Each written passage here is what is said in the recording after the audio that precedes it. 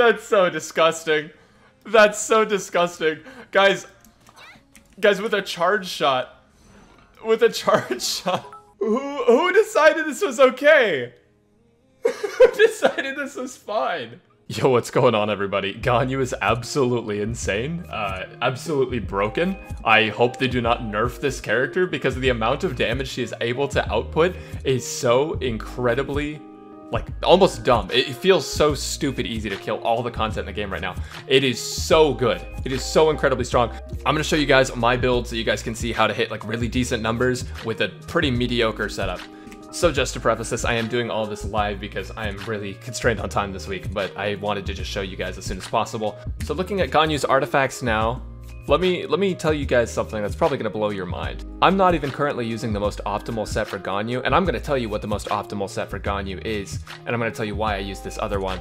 Uh, but if you consider the damage numbers that you're able to get currently, like when you'll see them later in the video as well, and in the intro of the video, those are the damage numbers you are able to get with the Blizzard Strayer set. Now, why is the Blizzard Strayer set not the best set? It's because Wanderer's Troupe, we were actually wrong about this. Wanderer's Troupe actually increases your charged attack damage by 35%, and the charged attack actually increases the bloom damage. So, so real quick, if we go back and we look at the talents and we um, look at our normal attack, mine is level 11 because I'm using Tartaglia and I maxed it day one because I'm a simp. And if you look at Frostflake arrow damage, it does 243%, and Frostflake arrow bloom damage is 413%. Now, initially, what we thought was going to happen was that the cryo set was going to be better because it added 15% cryo damage and it it would affect both the shots. But what we didn't actually know at the time is whether or not the Frostflake arrow and the AoE were part of the charge shot. And as it turns out, the second level of charge with the AoE counts as part of the charge shot, which means that you're going to be doing extra damage with the Frostflake arrow because it's going to do 35% more damage on impact.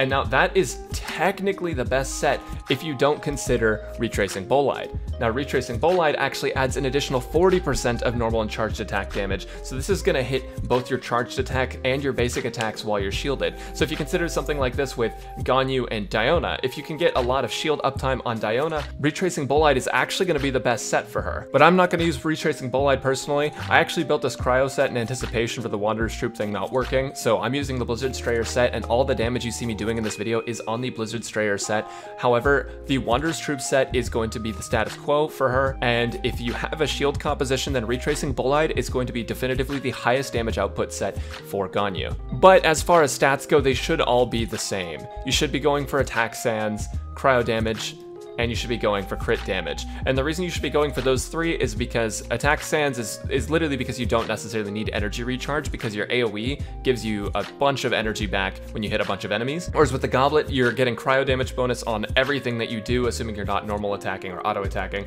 I think that physical damage kind of falls off, especially for Ganyu. So I think that cryo damage is definitely worth it, especially considering how much uptime she has. And then looking at this crit damage, the reason you want to build crit damage is because she has a passive, and we'll talk about this passive in a little bit, but this passive makes it so that way when you get a subsequent hit with the Frostflake Arrow AoE, it actually increases the crit rate of that AoE by 20%. So that makes it so you are much more likely to hit, and if you're using Cryo Resonance, you're going to get another 15% crit rate. And on top of that, if you look at her Ascension, her Ascension skill is actually crit damage. You can't really tell because I have uh, the crit damage piece on, but I have 162% crit damage, which means that her crit damage has increased from the standard. So what you see here is not the correct set, but it is a very good set. What you want to be running is the four-piece Wanderer's Troupe set, and I'm gonna go ahead and slap that on now. So ultimately, mine are not built yet, but they will be built for the video that is coming on Ganyu, the ultimate guide that we are gonna put out as we usually do.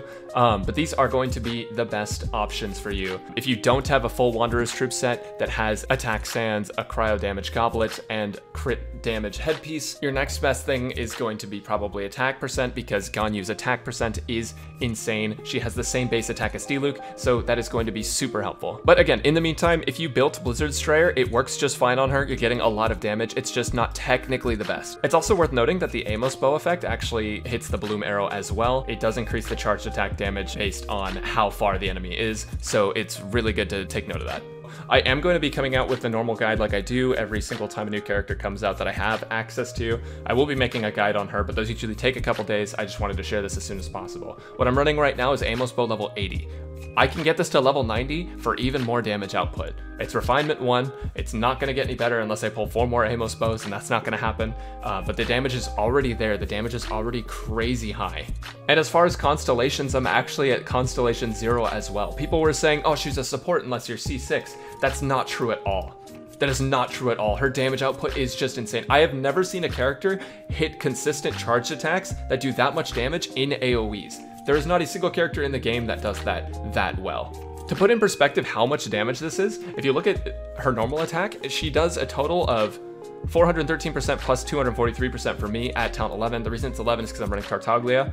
And to give you an example of how much damage that is, people thought Tartaglia's ultimate was broken because of the damage scaling. Granted, mine's only level 6, but it does 650% which means you are, in essence, you are doing almost as much or more damage than a Tartaglia ultimate at talent level 10 and 11. And that's on a charge shot bow character and an AoE. So you are essentially getting the same value for no cost whatsoever. But as far as bows, Amos bow is what I'm using. I tried the Skyward Harp. I actually didn't like the Skyward Harp because the 20% crit damage was the only thing that mattered. I found that the crit rate wasn't really relevant if you ran Cryo Resonance and you ran uh, the Cryo set. So I'm not having a problem with crit rate, um, which is why Amos bow is better because the attack affects both the initial shot and the shot after by a lot. As far as other bow options go, Stringless is not really for her, to be honest, unless you're running her as a full support. Uh, like I said, I think that DPS outshines Ganyu support by a long shot. You can absolutely use her as a support because her kit allows you to, but I think that the amount of damage you get on her charge shots is too good to ignore. So this will be good because it increases elemental skill and elemental burst damage, and that's really what you want to look for if you are running her as a support, but I don't think anyone is. Viridescent Hunt is nuts, it has crit rate, but I also, like I said, the same way I found crit rate redundant with Skyward Harp, I think that crit rate on this is not incredibly necessary. Granted, since her attack scales so well, the cyclones that are created with Viridescent Hunt will do a ton of damage, so that's worth keeping in mind. The reason I'm not running her with the Favonius Warbow is because I'm running her as a DPS, and energy recharge is kind of redundant on her as a DPS. You're getting energy recharge for every single cryo enemy that you hit with your AoE and enemy that you hit with your non-AoE attacks as well, and honestly, like, her Q uptime doesn't matter that much to me. I think that you can get enough Q uptime with just substats on her artifacts, and you're missing out on a multiplier, so honestly, if you're gonna run her as a DPS, don't use Favonius. The reason I say don't build Compound Bow is because her attack is insanely high, but she's not meant to be a physical damage dealer when you look at how much cryo damage that she outputs. And normal and charged attack hits increasing attack is great, but they only last about six seconds and it takes like a second and a half to charge a full shot that you want to charge. So ultimately, I don't think Compound Bow is as efficient as Prototype Crescent because Prototype Crescent actually increases your attack and it makes it so you get a big attack bonus once you hit a weak point. So it allows you to kite around and solo content easier with Ganyu, and you get an attack bonus, and it's a free-to-play weapon, so you might as well build it if you don't have access to the other ones. I don't have Rust to show you because I've never pulled Rust, but Rust increases your normal attack damage and decreases your charged attack damage, so it is really counterintuitive to Ganyu. The only reason you don't need to run Cryo on her bow is actually because of her first passive talent, which makes it so after firing your Frostflake arrow, the crit rate goes up by 20%, which is insane because it basically just makes it so that way you don't have to worry about getting that extra 20% on the bow itself. You can just use the attack multiplier. And then of course, harmony between heaven and earth is like really important as well because it gives you a 20% cryo damage bonus when you're in the AoE. And if you stack that with something like her Constellation 1 that lowers their cryo resistance by 15%, it just makes her do so much damage. Of course, Constellation 2 I think is one of her best ones because getting two taunts is amazing. Cloud Strider increases the level of Celestial Shower. Opponents standing within the AoE of Celestial Shower take increased damage. Now this is crazy because Constellation 4 makes it so whenever you have your Q up, which you should have 100% uptime ideally, everyone's going to take a ton of extra damage, which means that you're going to be able to just keep like snowballing enemies. And uh, it's not like she really needed more damage to begin with, but the fact that she can make more damage happen is crazy. The Merciful increases her taunt level by 3, which is just really good. This one's insane too. When you use her taunt, the next Frostflake arrow she shoots doesn't have to require charging. So you just right click and you shoot it immediately and it does the AoE. So what it allows you to do is instantly dash back and right click and shoot and that's going to allow you to get that AoE damage off in a ton of burst. Like it's going to draw all the enemies towards it, and you're going to immediately shoot them, and then you can start charging again. It's basically like an extra charge, and considering she does so much damage already, it basically just doubles the amount of damage you're going to do in that instant. 10% of a burst. So we're looking at melt comps, I actually don't think she's that efficient, and I'm gonna tell you guys why. Because she has so much cryo uptime, it's really hard for her to be the trigger. Now this actually makes it better for Pyro characters, because if you use her as a support, then Pyro, it works really well, and then the like melt comp would in theory be good. But the problem is that she does so much damage that I think she outclasses most of the other Pyro characters that you would use with a melt comp with her. So for that same reason, I don't know that necessarily building a melt comp is as efficient as building something like a freeze comp. Like if you throw down her taunt and you use Barbara to kind of AoE everyone into Hydro and then freeze them, I think that's going to be much more effective considering how much damage Ganyu does. Now, if you do decide to go with a melt comp, though, there are some things you can do to optimize that.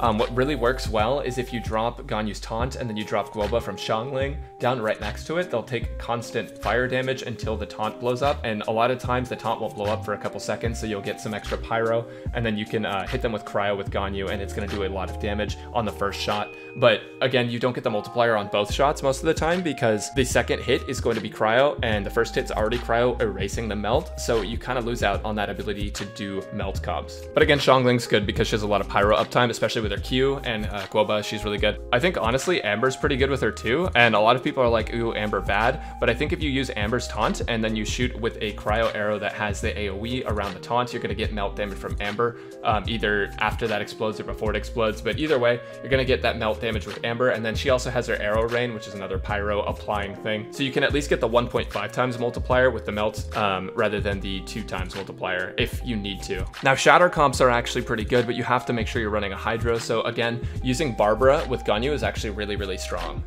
Xingqiu with Ganyu is okay, but the problem is that you have to get an auto attack carry or an auto attack character that you don't mind losing uptime for to make sure that you hit with swords. Because honestly, if you're going to use Ganyu, her auto attacks are totally usable, but they're not as optimal as using her charged attack.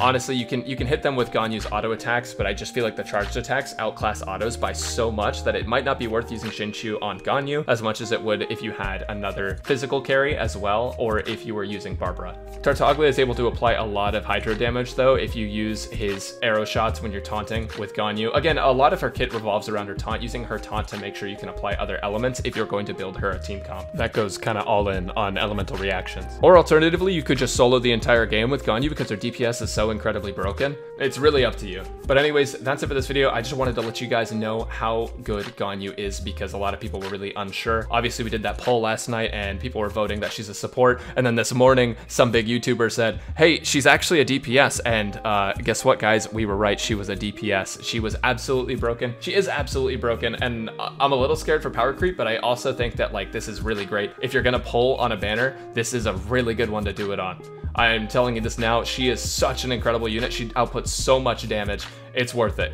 It's absolutely worth it. Most of these hits I'm doing aren't even max hits, they're just normal charged attacks. So definitely consider pulling on this banner if you were kind of on the fence about it. I think it's worth it. And of course, I'll get you guys a thorough, in-depth guide um, where everything is like scripted and, and nice and organized relatively soon. So just keep your eyes peeled for that. As usual, if you've enjoyed watching, make sure to leave a like and subscribe if you want to see more Genshin Impact content. I will catch you guys next time.